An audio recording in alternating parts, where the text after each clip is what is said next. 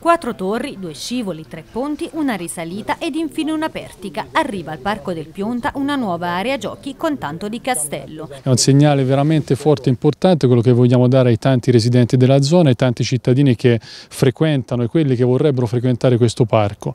Inizialmente avevamo pensato di installare soltanto il gioco che ha alle mie, stalle, alle mie spalle, quindi il castello. Poi in corso d'opera abbiamo deciso di ampliare l'area e di fare una zona dove si gioca a pallacanestro, altri altaleni, giochi a molla Molla e la teleferica che è di fronte a me.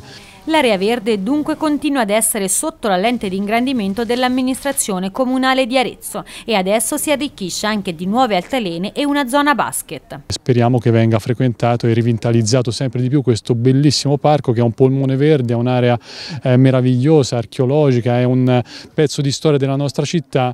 Proseguono ovviamente anche le opere per implementare la sicurezza dell'area che passerà attraverso il nuovo sistema di illuminazione pubblica e l'impianto di videosorveglianza. L'idea della recinzione è un'idea tutta da valutare perché per tutta la parte di parco che è di proprietà dell'amministrazione comunale è già tutto recintato. La parte da recintare è la parte di proprietà dell'ASL e dell'università, quindi dovremo sentire un po' gli enti dove accadono i fatti un pochino più incresciosi, quindi dovremo sentire gli enti proprietari. Ma il tema della sicurezza non riguarda unicamente il Parco del Pionta o più generalmente il quartiere di Saione. Anche il centro storico negli ultimi giorni è stato teatro di un preoccupante episodio di microcriminalità.